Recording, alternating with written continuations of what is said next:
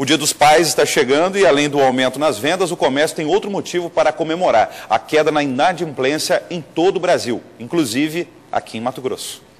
O grande número de consumidores andando no centro da cidade carregando sacolas de compras é o reflexo do bom momento que vive o comércio.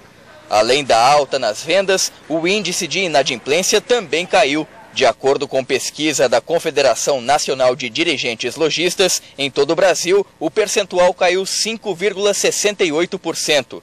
Em Mato Grosso, a situação é ainda melhor, queda de 6,65%.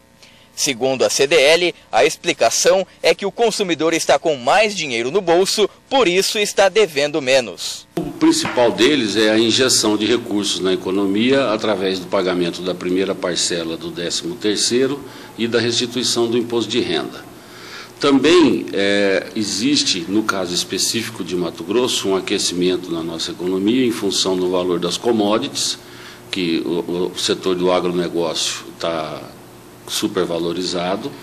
Mas esse bom momento com a inadimplência em baixa no comércio pode mudar com a chegada do Dia dos Pais.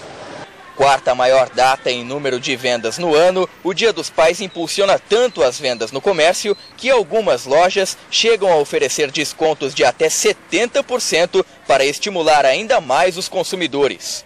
Lúcio é gerente desta loja de roupas e percebe o aumento no número de vendas com a data comemorativa mas ele diz que junto com as compras, a inadimplência também cresce. Olha, geralmente sim, né? Quando sempre quando aumenta mais a venda, é, sempre a inadimplência ela aumenta um pouquinho. Mas esperamos que não aconteça isso. Né? Apesar do receio com o crescimento das dívidas do consumidor no comércio, a CDL prevê que neste segundo semestre os lojistas vão lucrar ainda mais. Muitas pessoas estão conseguindo liquidar os seus débitos e estão se habilitando novamente para comprar. Isso faz com que o motor da economia seja aquecido e a gente tenha um resultado positivo no final do ano.